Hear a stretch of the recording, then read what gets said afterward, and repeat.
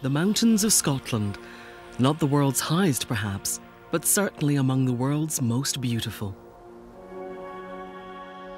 They are also among the most varied, from the undulating tops of the high Cairngorm Plateau to the complex ridges and steep sided glens of the ranges to the west.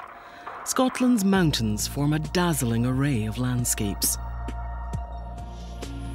These high places, each with their own special character, their own history, and sometimes even their own legends, are a unique and precious landscape. The Highland Mountains of Scotland, thrown up over hundreds of millions of years and shaped by natural forces. These hills are powerful symbols of the Scottish identity